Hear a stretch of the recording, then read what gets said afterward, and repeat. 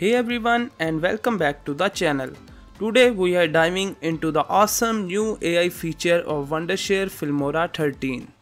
These features are a game changer for video editors, especially those of us who are short on time or new to the editing world. Let's jump right in. The link of this website is available in the video description.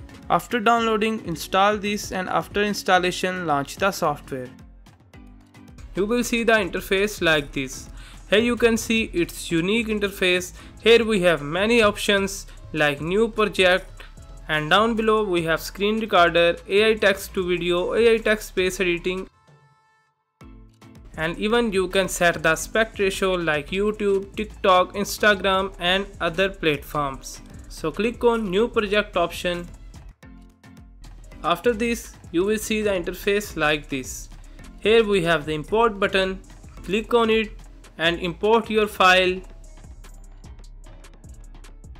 And you can also drag and drop it onto the timeline. If I click on the play button, so you can see my video. Hey everyone and welcome back to the channel. Today we are diving into the awesome new AI feature of Wonder is how you can create animated subtitles. So that's very easy. Simply click on the toolbar and here you can see speech to text feature. Click on it and here you can select the languages. First of all select the language of the audio to be transcribed like English, German, Spanish, French and etc.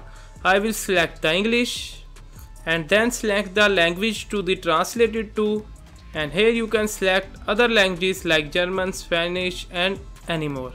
Select it and then select the file to be converted like clip selection and you can even select the entire timeline.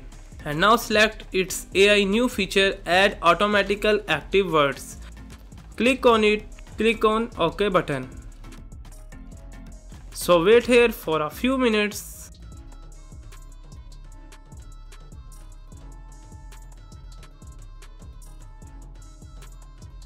and here you can see processing is completed.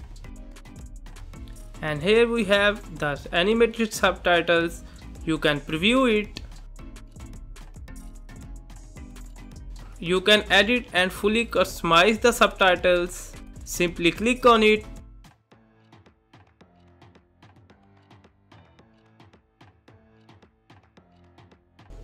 Here we have many templates Even you can edit the subtitles, you can edit it very easily. You can change its font, size, bold, Italian and even you can change its color and background. So that's very easy to generate the animated subtitles using Wondershare Filmora 13. So try it and edit your videos full professionally. So that's very easy I hope you will find this video helpful. Subscribe our channel for more tech tips and tutorials. Thank you so much for watching and I will see you in the next video.